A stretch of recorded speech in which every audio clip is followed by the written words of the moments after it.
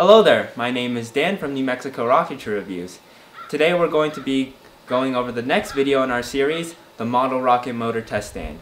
In this video we're going to give you some details about a ton of updates we did to this Model Rocket Motor Test Stand. Some of the updates include a larger motor mount, faster data, and we used code provided by some contributors. So, let's get started.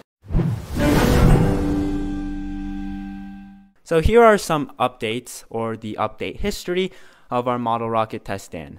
So the first version was just where we had a kitchen scale and a motor mount glued on, and a camera recording the display of the kitchen stand. Obviously that didn't work and it was a very primitive design. Now version 1.4 was the first version that we um, actually used an Arduino and a Wheatstone bridge load cell. So that one we got the kitchen scale and we used the four single point load cells inside the kitchen stand and hooked it up to the Arduino. And that was still slow because the load cells in the kitchen scale were ineffective. So then we moved on to version 2.6. This version used an LCD, a new single point load cell, and it featured an LCD with Christmas lights. This version only fit 18mm motors, but it was slightly more responsive, but still slightly inaccurate as well it had pretty much the same code as version 1.4.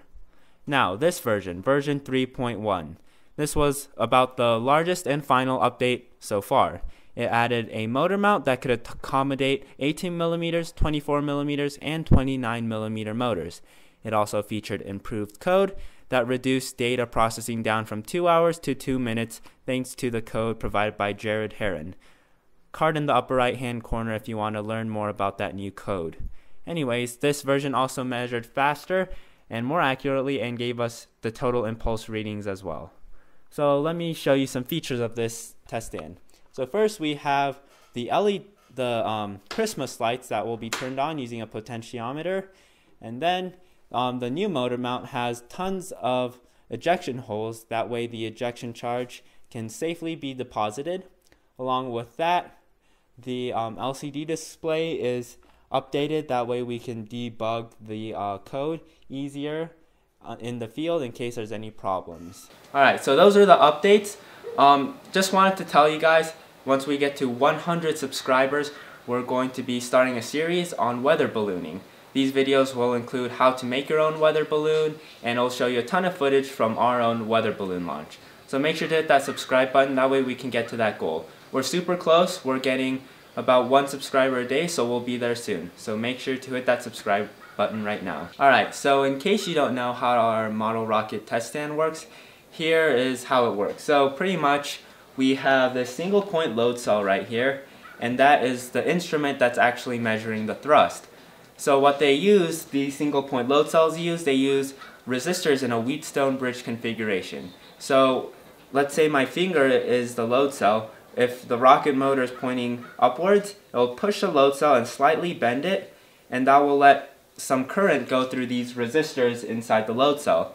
Now, then the current will go to a load cell amplifier. The purpose of the load cell amplifier is so that the signals from the load cell can be amplified. That way our Arduino can read the data. If it wasn't for the um, load cell amplifier, the Arduino wouldn't be able to read the data five, four, three, two, one.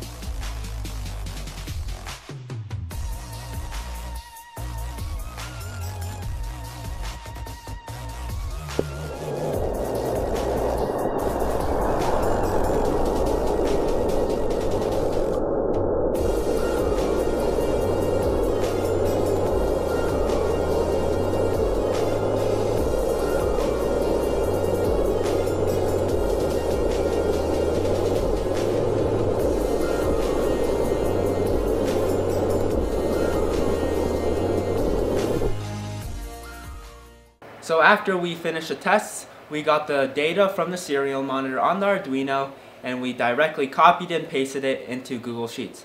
Thanks to our updated code, that saved us about two hours of time. So let's go through the data together.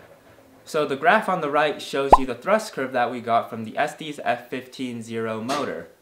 If you'd like to see this graph and all the data points in more detail, there's a spreadsheet down in the description.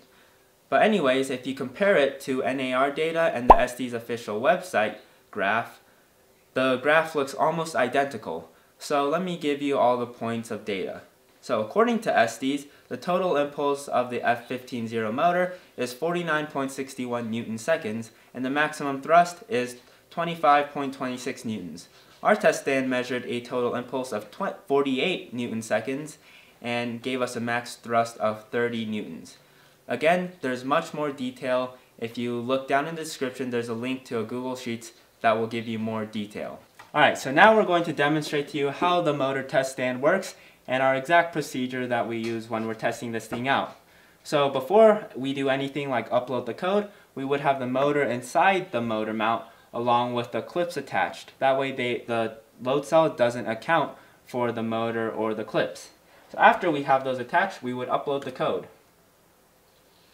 And in case any of you are wondering, the motor isn't recessed down too far. It's actually a, it's actually slightly lower than the edge of this pipe. That way we don't get the Krushnik effect. So anyways, now that the code, code is uploading, we can get a calibration weight ready. So we're just going to use an iPhone in this case. When we're actually on the field, we have precise calibration weights. That way we can have accurate results. So now that it's done uploading, we can go ahead and open the serial monitor. There we go. And then now it's going to start up and we can tare it. And now we can place my iPhone as the uh, calibration weight. This weighs 178 grams. And then it's going to give us a, a calibration value right here. So we can copy that right there. And we can just double check that this thing is the right calibration code by just putting Y into the serial monitor. And now it's reading 177.8, around 177 for um, the weight of the iPhone, which is correct. So now that we have the calibration value copied, we can go over and open the actual um, new code that actually measures the thrust for this rocket engine. So we go over here. Oh, that's the wrong code. Whoops. Huh. There we go. Yeah, there. That's the right code. So now we can go over down here and then the calibration value that we got from the previous code, we can just paste it right there, 415.60. And now we can upload that code. And now our load cell is properly calibrated, so we don't want to bang it around or anything. So now we can just open the serial monitor, and then I'll say first column is the time elapsed, the second column is going to be the thrust in newtons, and the third column is the total impulse of the rocket motor. So then we would have a wireless keyboard, and then we get all the cameras up and running, and then we do the countdown, five, four, three, two, one, and start the data processing. And then we would have the rocket motor go off, and it would measure the thrust, and then once, it, once it's finished, we would just stop it, and then copy all these values, and then go to Notepad, and then paste it. So this is all the values that I pasted from uh, the test that we did yesterday. So these are the actual values for an F150. So then what we would do is we would copy all these values, which takes a while.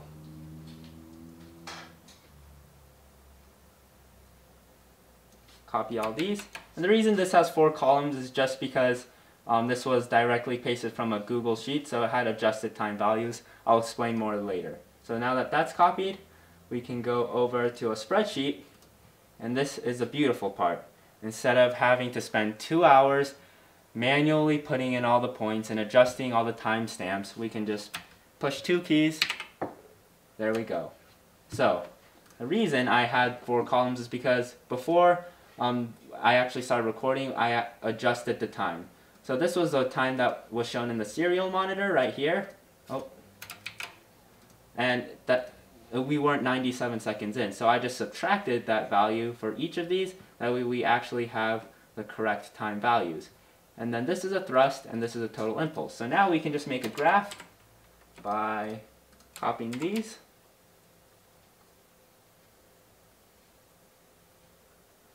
And this takes a while. There we go. So now these are copied. We can just press insert and then chart. And then bam, that's our graph right here. And that's pretty accurate to the data that Estes got and NAR got. So if you want to check out all these data points for yourself, you can go ahead. There's a link in the description and it will open this document right here, which will give you just a little brief um, summary there. It'll give you the data from version 1.4 and then 2.6, and then finally the data that we got.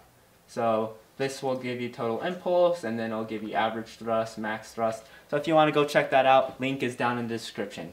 So in conclusion, this rocket motor test stand, version 3, was our most successful rocket motor test stand so far, and so far it's the only motor test stand that worked. Versions 1.4 and 2.6 and the ones before that were all failures, I guess, except that we learned a lot from those motor test stands, and those led us to this final version. We plan to keep updating this test stand, that way we can make it better and then show you how to make yours better as well. So, make sure to check out the videos on how to make a model rocket motor test stand if you want to make your own, and check out all the other videos in this series, that way you can learn about how the code works and about how this rocket motor test stand works. So make sure to subscribe, that way we can hit that goal of 100. And then if you'd like to support us, check out our Patreon in the link in the description. For just $1 a month, you can unlock a ton of awesome benefits such as one-on-one -on -one help on your model rocket test stand, and weekly updates, and exclusive photos and videos, along with much more. So make sure you check out that link. Also, we have a new website which will give you more information on all our projects and rockets, and that link is also in the description. Along with that, check out our Facebook link for frequent updates and a ton of cool pictures. So, other than that, have a great day.